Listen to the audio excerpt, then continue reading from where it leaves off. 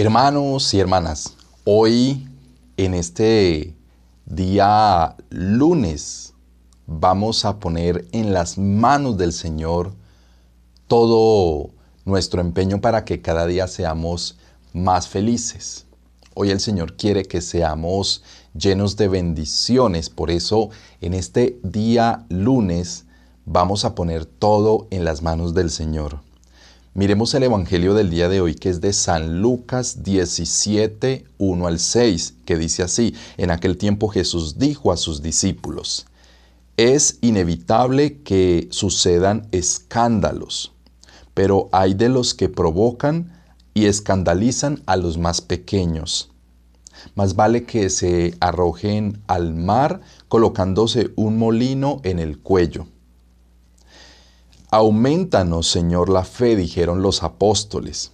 Y Jesús dijo, si tuviéramos fe como un granito de mostaza, le diríamos a esta morena, arráncate de raíz, plántate en el mar, y ella obedecería.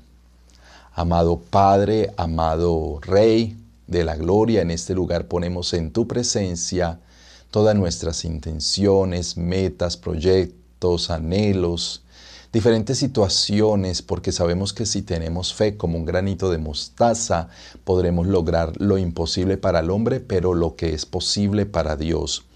Hoy en este día derrama bendiciones sobre cada hermano y hermana que hoy con fe y devoción está aquí en este espacio de oración de la mañana.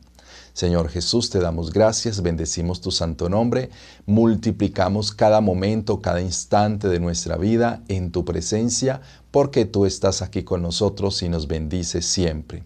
Gracias Señor, te alabamos, te bendecimos, te glorificamos y te damos gracias en este día.